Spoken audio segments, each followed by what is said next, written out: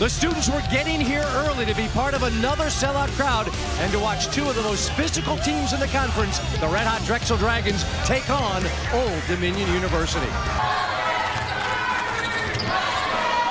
Pat got it for three.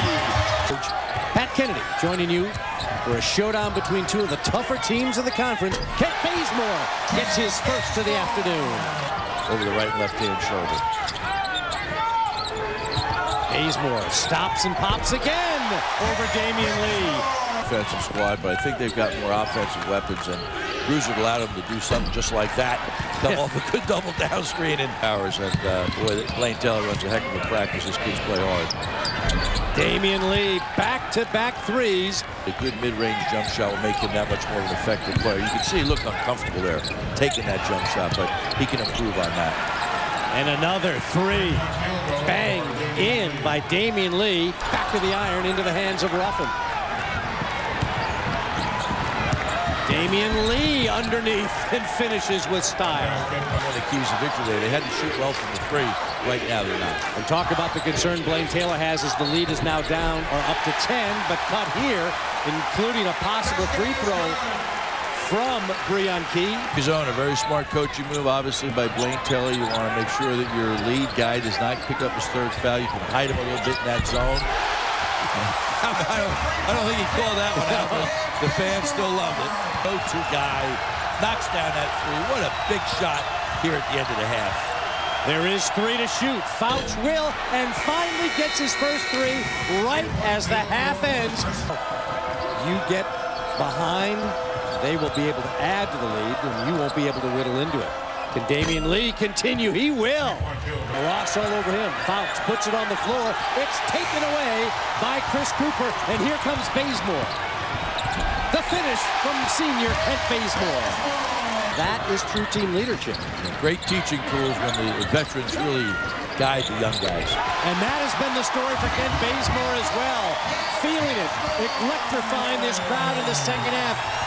Watched by Chris Cooper, backs it out to Frantz Massenat.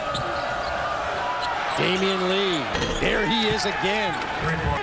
Well, they could be watching the CA Classic because these two teams are playing their hearts out. Our stat pack giving you some leaders, including some more points you can add to that total for Kent Bazemore. the ball so easily from mid-range.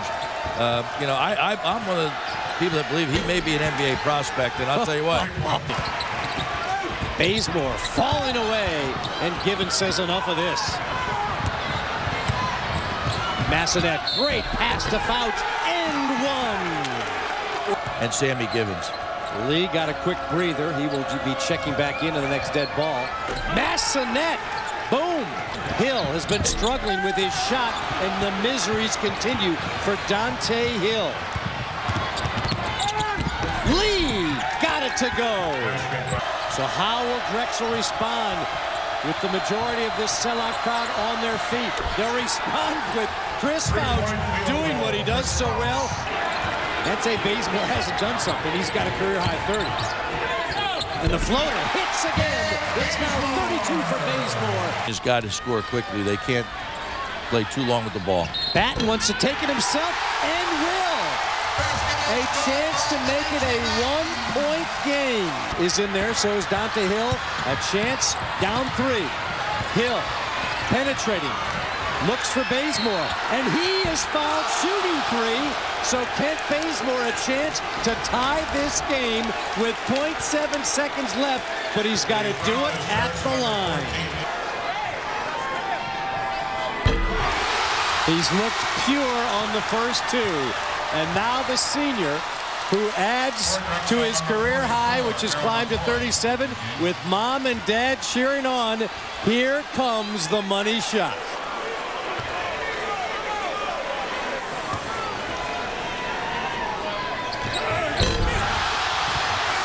And that's how it ends. Kent Bazemore on senior day still not standing up, missing a chance to send this game to overtime. But what a contest, what a performance by that young man. And Bruiser Flint and Drexel go to 17 straight games